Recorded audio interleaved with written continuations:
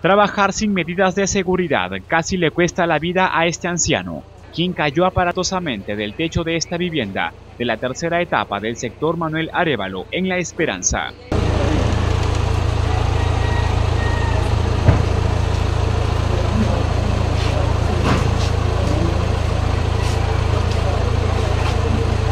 Tras el impacto con el suelo quedó semi-inconsciente y en medio de un charco de sangre, su compañero y testigo del hecho guardó silencio.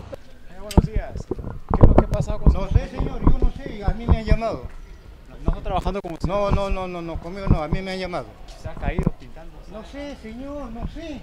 La emergencia se registró en la manzana B28, lote 28, hasta donde llegaron los bomberos para auxiliar al longevo, quien fue trasladado al hospital regional. Abre.